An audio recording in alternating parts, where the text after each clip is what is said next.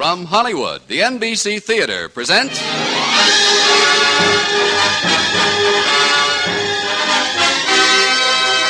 Screen Director's Assignment. Production Suddenly It's Spring. Director Mitchell Leisen. Star Fred MacMurray.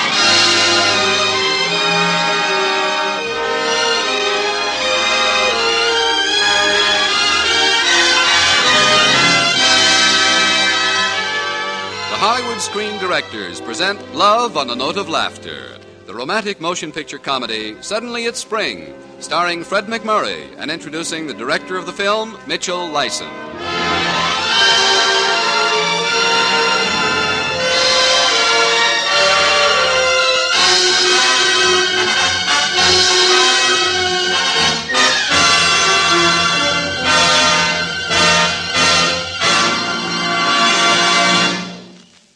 Guest screen director tonight literally rode to success on a drawing board. For it was his exceptional ability as a designer of sets and costumes that won him an opportunity to direct and to fulfill his theory that the function of the director is to provide the channel through which an actor expresses emotion.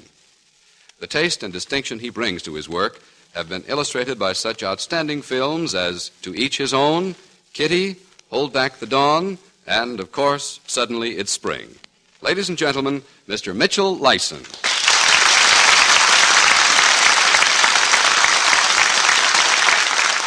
Thank you.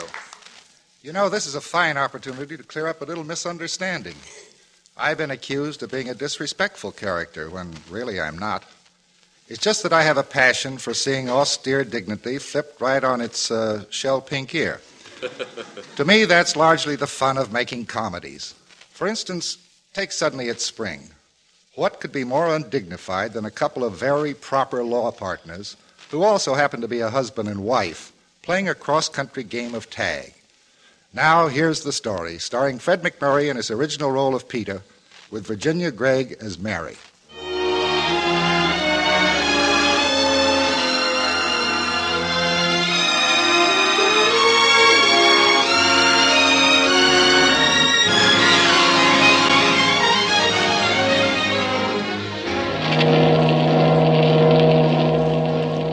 The troop ship steamed up the Narrows, moved proudly down the fairway, and was warped neatly into its New York pier. The ship's rails were jammed with returning soldiers, and among them was Captain Morley, formerly of Morley and Morley, attorneys at law. Captain Morley was eagerly scanning the crowd on the dock, looking for that other Morley who was a partner in marriage as well as in law. After all, they haven't seen each other in seven years. And where was the other Morley? The other Morley, spouse to Captain Morley, was in a telephone booth on the pier. Telephoning, of course. Hello, Violet. Honey, the, the ship just docked. Yeah. Thousands of dog faces aboard. That's a fine thing to say about my wife and a white captain at that. Oh, now, honey, look. Any American soldier is called a dog face, even if he is a woman. Yeah. Of course I love you, honey. Sure, I love you. That, that's why I'm here to meet my wife. I'll get her to sign the divorce consent the minute she's in the apartment and, and a bit settled, huh? Yeah. Oh, I think I see her coming down the gangplank now. Goodbye, darling. Mary! Mary! Oh, excuse me. Uh, Mary! Captain Morley! Uh, oh, I'm sorry. Uh, Mary! Here I am, Mary. Peter!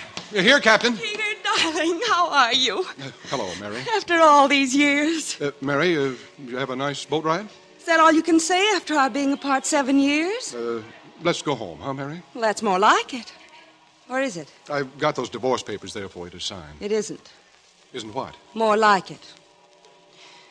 Well, let's go home, Peter.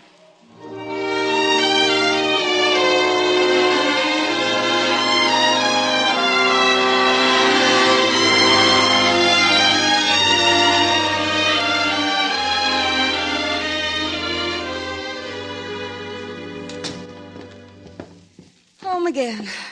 At last. Yeah, home at last. I'll uh, get my things together and move out right away. Peter. Hmm? Peter, we haven't seen each other since 1942. Are you absolutely sure we want this divorce? Why, yeah. Aren't you? No. I've changed my mind. I'd like to save our marriage. And quite aside from that, I'm in the army teaching WACs how to make their marriages work, and my own husband's demanding a quick divorce. How does it look? Well, I wasn't demanding, Counselor. I've got to go about it in this way. As long as you're in uniform, I've got to get your written consent to the divorce. But I won't be in uniform forever. Can't you wait until I'm out of the army and help me save my face a little? Maybe we better talk about this later. What are you doing for uh, tonight? Nothing in particular. Well, how about having dinner with me? Are you being nice to a returning serviceman? I'll uh, pick you up at 8. We'll go to the Moonlight Terrace. Remember the Moonlight Terrace? Yes. Soft music. A table in the corner. Shall we bring our briefcases?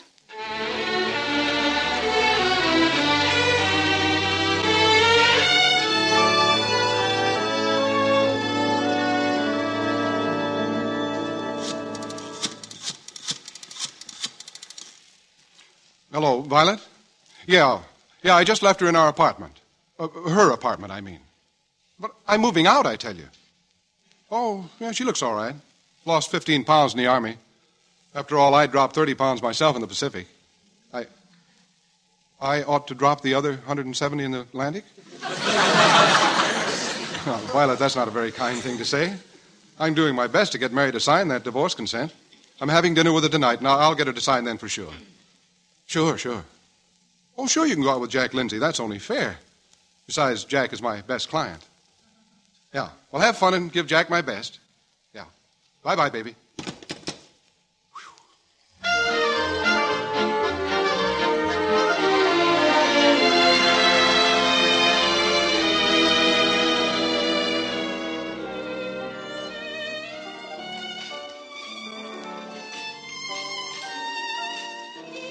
And in consideration of such agreement, the following real and personal property shall be divided as follows one cooperatively owned. Mary. I'm listening, Counselor. One cooperatively owned apartment, Mary. One beach house with location as specified in. Uh, hey, Yasha, why don't you take that fiddle of yours and go watch Rome burn? Peter, Peter. Peter, Peter, why don't you order a pumpkin? Philistine ignoramus. Peasant. Fiddling in my ear like that radio comedian. I asked him to play. Remember? Suddenly it's spring. Oh, yeah. Well, let's see, where were we? Uh, one piano, baby grand, Mary. One combination radio phonograph, Mary. One washing machine, Mary. Doesn't Violet wash? One combination chess and checker set, me. I thought Violet had sex appeal. Now, Mary. Now you sound like that radio comedian. Mary, I took you to dinner here for a serious chat about. About. jumping Jupiter. A favorite steeplechase horse of mine, Jumping Jupiter. Uh, Mary, uh, look, look, I, I've got to go and make a phone call, a very important phone call. Uh, excuse me, I'll, I'll be right back. Hmm. Now let's look around and see what made Jupiter jump. Well, good evening, charming and beautiful Who's it? But wasn't that Peter Morley, the eminent attorney, who just fled this table? Why, yes, it was. Well, I'm Jack Lindsay, his richest and handsomest client, and this is Violet Fay. I'm Mrs. Peter Morley. I'm in trouble. Tell me, Violet, what do you hear from my old man? Hello, uh, hello, head waiter. Th- This is Mr. Morley. I'm calling from the cloakroom. Now, look, will you take a telephone inside to Mr. Jack Lindsay's table? He's with a lady. Now, I want to talk to the lady. Thanks. Hello, Violet. I want to warn you that the brunette sitting alone at the table near the bandstand is Mary, my wife. She. Oh, you're Mary, my wife. They, uh, they came over to our table, huh? Well, it's grand, grand. But Violet looks just like Miss Emily Borda. Who's Miss Emily Borda? Oh, Miss Emily Borda of 1929. Oh, don't be catty, Mary. Look, uh, put her on the phone, will you? That's a good scout. Uh, WAC, I mean. Oh, Lord. Oh, oh, Violet? Violet, this is Petey Pie. I... Oh, now, look, look. No, no, Violet. Is it my fault that Jack just happened to take, uh, take it to the two light Maris? I mean, the mine two Laris? I mean, oh, ne- never mind. Mary, Mary and I were just going over the settlement papers. Yeah. Oh, I'm, I'm sure I'll get the consent signed tonight. No, I, I won't go home with her. Don't worry. Well, all right. I'll, I'll, I'll get her to sign in the morning when she's got cold cream on her face. Is that all right? Well, I'll spend the night with Jack.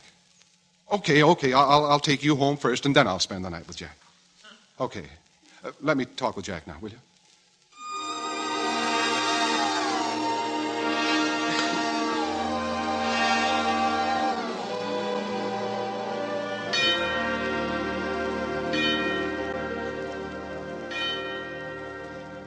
Jack. I'm sleeping. Well, wake up. By what right do you take Violet to dinner when I'm out with my wife? Well, you told her I could. Well, that was after you asked her. You know what I think, Pietro? Oh, don't fracture your brain. What? I think your wife is still in love with you. Why? I don't know. She interested in natural history? Now, don't give me egg shaped answers to square questions. Well, I made a pass at her. You did? I always make passes at girls I make passes at. Well, what happened? I must see my dentist concerning a loose tooth. She probably likes you. I'm encouraged no end.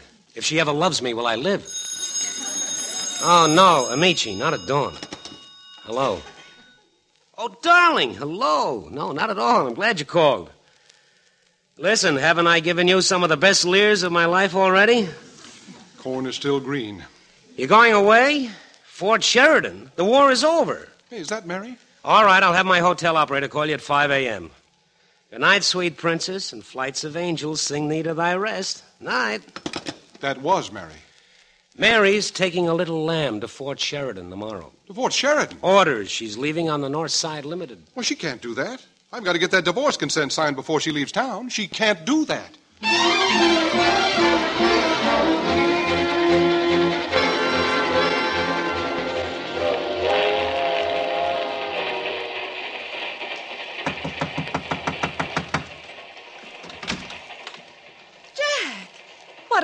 On earth are Listen, Peter's on this train, too. Peter. Now, Mary, if you make any attempt to hold your husband, you're making the mistake of your life. Now, let him go. Sign those papers and get him out of your beautiful hair. You're young. You've got a right to love and marriage. With me, of course. Mary, I. Oh, hello, oh. Peter. What were you two talking about? Each other. Jack, old boy, would you mind if I had a word alone with my wife? Remember what I told you, Mary? Make everybody happy. You know, I think he's fond of you in his bungling way. Good catch. I'll unpack if you don't mind. You're back in uniform, I see. I hate traveling in a low-cut evening gown, don't you? Uh, Counselor. Sorry I had like- to leave New York in such a hurry. A new assignment. Advising Well- WACs at the Fort Sheridan Separation Center in the art of being happily married. Well, I'm making a stopover in Detroit. Perhaps you'd like to join Well, me look, there. I, I'm getting off at, no, at, at, at Harmon, and all I want for you to there do seem to be so many misunderstandings these days. Mary, Marriages would- break up for no tangible reason. Yeah, now, Mary, would I'm you si- just wondering if too many married couples give up too easily without giving their marriage every possible chance to survive. And in my work at Fort Sheridan, I'm going to stress the fact that out of every marriage in the United States,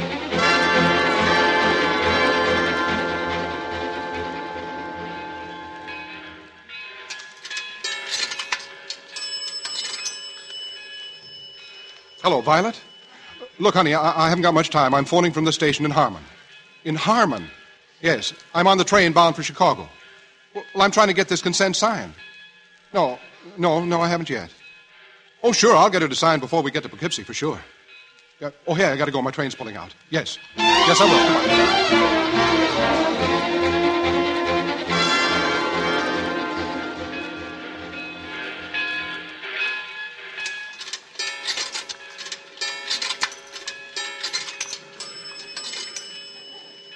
Hello, Violet. I'm in Poughkeepsie. No, Violet, not yet, but. But. Well, look, I can't help it. Things keep on happening. People keep on interrupting, and then my fountain pen doesn't write, and when I try to borrow a fountain pen. Peter! Uh, go away, Jack, will you? That was Jack, darling. Pietro! Violet, look. Uh, Violet. Violet, are you there? Come in, New York. Come in, New York. Pedro, my friend. No. She hung up on me. Also, your train has departed. Gone? If you're more comfortable with monosyllables, gone, yeah. Oh, doesn't matter, Jack. I can see now. Mary will never give me that divorce while she's in uniform. Yes, she will, or I'll die trying. Now, look. Mary's stopover in Detroit gives us a chance to get back to LaGuardia and beat her to Chicago by plane. And what does that get us? The Bendix Trophy? You could persuade Mary to sign that consent if you'd only use your head. Now, stop taking her to dinner. Stop calling her darling and consular. Up to now, you've been turning on the charm like a cover boy, so the more you're around, the more she wants you around. Hmm. So what do I do? Poker with sharp sticks? Well, there must be some certain type of man she can't stand. If you're as repulsive to her as I'm sure you are at heart, she'll drop you like a hot brick. You know that might work at that. Sure it will. Get repulsive. You can do it. Pour it on. Pour it on. Yeah, yeah, pour it on. It's wonderful of you to help me like this, Jack. So unselfish. Like a bat borrowing blood. Poor Mary, she'll hate you in Chicago, thanks to little Jackie. Yeah. Peter Morley, the louse that Jack built.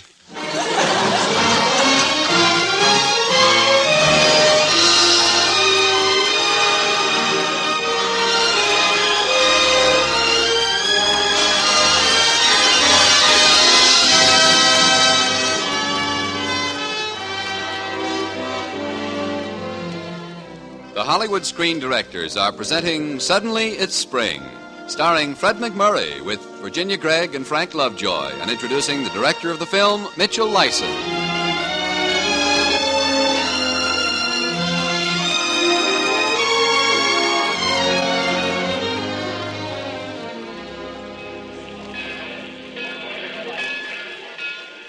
But there's Mary now, Peter, surrounded by newspapermen and that WAC major. Here's your cigar. Oh, thanks. Now hold it. Now? No, no, hold it. Uh, all right. Send me in, coach. I'm fresh as a daisy. Now don't forget, blow cigar smoke in everybody's face. Yeah, yeah, yeah. You ready? Yeah, ready. Be beastly. All right. Right. Let's go. Mary! Hey, Mary, look who! Superman, remember? Peter, for heaven's sake. Welcome to Chicago, hog butcher of the world, baby. Come on, give me a great big smacker, huh? Peter, Mwah. please, Peter. How do you like her, folks? A little woman. All we had in the Pacific was coconuts. Oh, Captain Morley, what is the meaning of this? It's all right, Major Cheever. This is my husband, Peter Mr. Morley, Morley. Mr. Mary Morley to you guys and gals. Mr. Mary Morley, attorney at law. My card, folks. Here, boy, take the card. Here. You ever get in a jam? Look me up, folks. Take a card. Here, Major. Cheever, reporters, uh, photographers. How are you, Mage?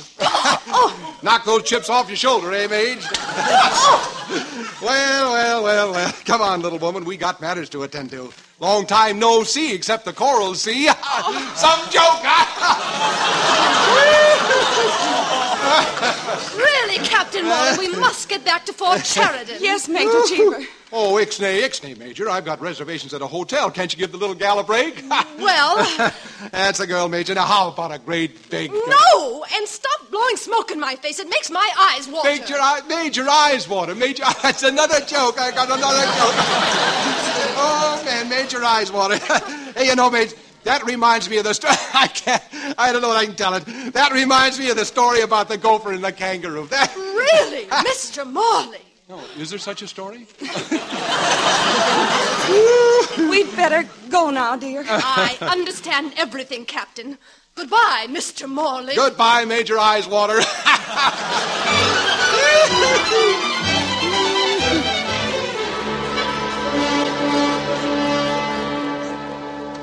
And now behold the bridal suite. Love seats drenched with costly perfumes from That'll be enough, Zanzibar. Peter.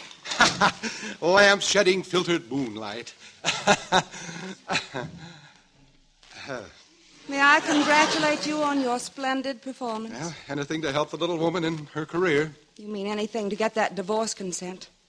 You've made me an object of ridicule to the press and my fellow officers. Object of pity, married to a goon. Senior grade. Logic tells me to sign and hand over that consent. But I'm not going to do it. You're not. Not just yet. You can cool your heels in the living room until I've settled the problem. In my own way. But, Counselor, Good night.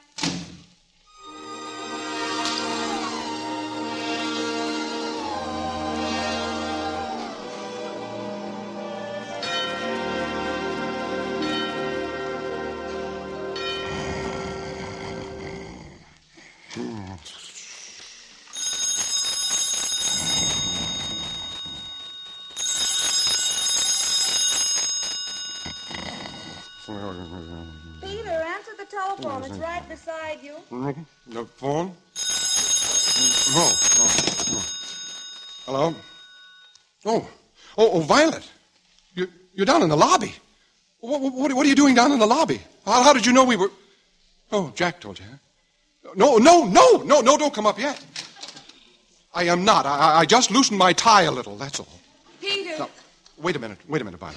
please have a call back in a minute. I'd like to talk to you. Yeah, yeah, uh, uh, call back in a minute, will you, Violet? I'll be free to talk then. Come in here. I dasn't. You, you come in here. All right. I'll come to you. I don't have commitments elsewhere.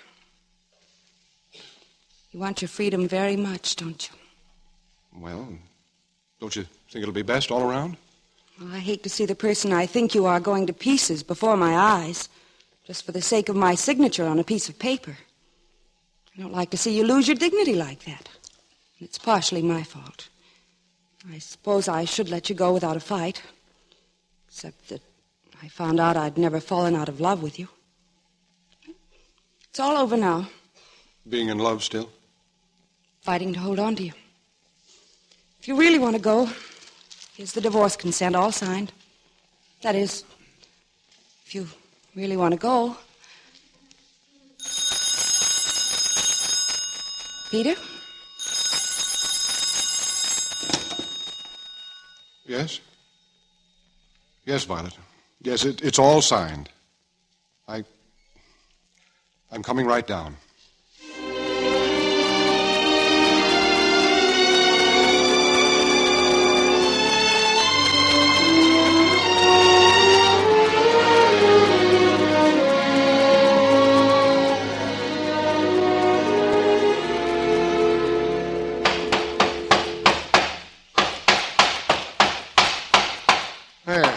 That's ready to go when the truckmen come. Everything of yours packed up, Peter? Yeah, I'm all set. You're not taking much, but it leaves the apartment looking awfully empty somehow. Yeah. Uh, counselor, Yes. I Peter? wish you'd get the divorce. I feel so silly going to Reno. It's what you men always wanted equal rights with women. Are you going to pose for the papers with your legs crossed, Peter? Are you going to marry Jack Lindsay? He loves me. He is a good catch. Hello. Oh, hello, Vi. For once, I'd like it to be someone selling subscriptions. Well, yeah, Violet, we're, everything's all packed in two neat little cases ready to go. Yeah, but Violet, all I need is my clothes. Mary's entitled to most of the furniture and the piano and things. Uh, After all, she's a woman. Oh, sure, Vi, you're a woman too, obviously, but. No, no, no, Violet. You won't have to stand up during our first year of marriage. I'll, I'll buy new furniture. All right. All right, I'll- yes, I'll talk to her. Mary, Who keeps that woman in nickels? You? Mary, uh, Violet seems to think I should have asked for more in the settlement. She's getting you, Peter. What more does she want? However, you forgot the things in the closet which weren't discussed and which are yours for the taking. Stuff in what closet? I mean, what stuff in the closet? Over here. Forgotten trifles of the Morley marriage, the remnants of a love that was young and brave, if I may grow so chintzy. This platter up here. Remember? Well, what do you know? Sure, I remember. We saved our first client from going to jail, and he paid us off in this rare bit of china. What if the man was charged with robbing a china shop? We proved he was innocent to the jury. But we'd never talk about it to ourselves, would we? I wanted to throw the darn platter away to begin with. Why didn't you say so? Why didn't you? Well, do it now, why don't you? Roger. I feel better already. And then this music box. I got you that for our first anniversary, remember? Oh, yeah. It played music and you could keep cigarettes in it. What'll they think of next? Flying machines, I bet. I gave up a permanent for this little box and you broke it. Well, I didn't mean to break it. I was just clowning around with it, remember? Dancing around with it and singing. Why is my heart dancing? Imagine. Sing. Peter, get off of my sofa. Peter! Peter. Oh, Peter, are you hurt? Uh, Bring out the chain and measure. I'm sure we made a first down. Well, what else in the closet? Oh, What? this. It's hurt us more than anything else. Oh. You. You bought me this layette. It was so sweet. You're doing it. Usually it's the woman who. Oh, it would have been nice to have a baby, but. You wanted it so much. Oh, well. I'm sorry, Peter. I know. But instead of going into your shell and trying to lose yourself in your work, you, you could have given me a chance to, to prove it didn't matter. It mattered, all right. Yeah, but we could have talked it over. We, we could have adopted a baby, or maybe a couple of them. Isn't it strange, Peter? Everything we've taken out of this closet proves that there'd have been no misunderstandings in our marriage if we'd been honest with each other. Even this music box. I wanted to have it fixed, but you claimed you hated the tune. Hated it? I liked it. But that broken box got to be such an issue you wouldn't admit it. People are children, you know. Well, uh, you keep the music box. Oh, no. No, you keep it. No, but I bought it for you. No, I want you to have it. Here, take I it. I wouldn't think of it. Take it. No. Oh. Oh, I'm sorry. Peter, Hey, you fixed it. Listen. we fixed it. All it needed was a shaking up, just like people. Oh, Peter, isn't it sweet? It's like it used to be. And to think it's been in that dark closet all these years when all it needed was to be shaken up.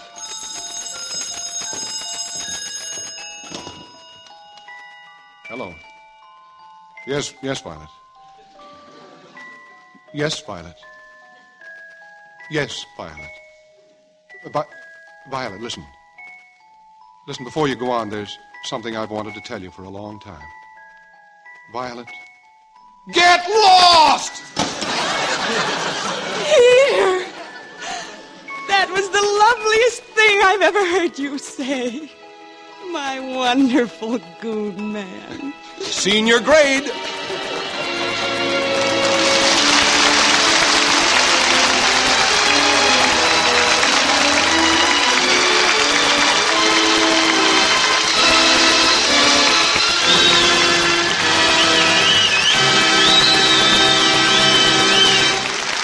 Our stars will return in just a moment. Next week, the NBC Theater dims the lights and loads its guns with laughter to bring you The Ghost Breakers starring Bob Hope. And now, here again are Fred MacMurray and Virginia Gregg and screen director Mitchell Leisen.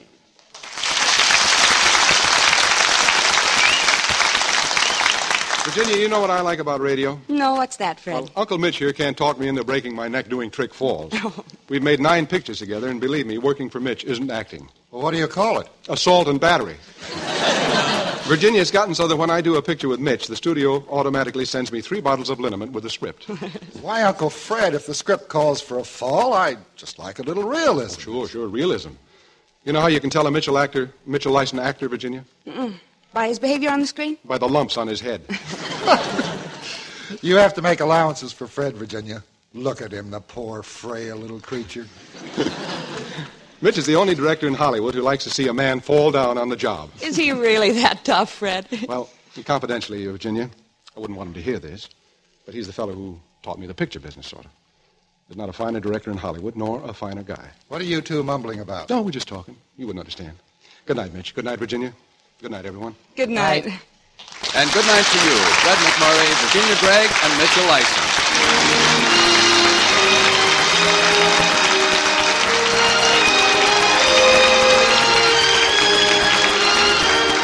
Suddenly It's Spring was presented through the courtesy of Paramount Pictures, currently releasing Alias Nick Beale, starring Ray Milland, Audrey Totter, and Thomas Mitchell. Fred MacMurray can currently be seen with Madeleine Carroll in Don't Trust Your Husband, a James Nasser production. Mitchell Leisen's next Paramount release will be Bride of Vengeance, starring Paulette Goddard, John Lund, and MacDonald Carey.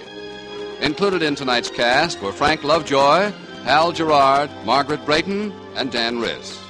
Suddenly It's Spring was adapted for radio by Milton Geiger, and original music was composed and conducted by Henry Russell. Production was under the supervision of Howard Wiley, associate producer Ray Dietrich. Your announcer has been Frank Barton. Listen again next week when the NBC Theater presents Screen Director's Assignment. Production The Ghost Breakers. Director George Marshall. Star Bob Hope.